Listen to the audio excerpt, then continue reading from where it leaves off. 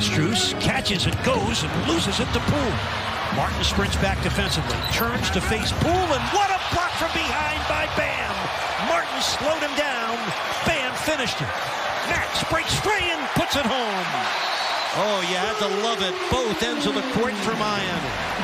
Through the month of October. Strus catches and goes and loses it to Poole. Martin sprints back defensively, turns to face Poole, and what a.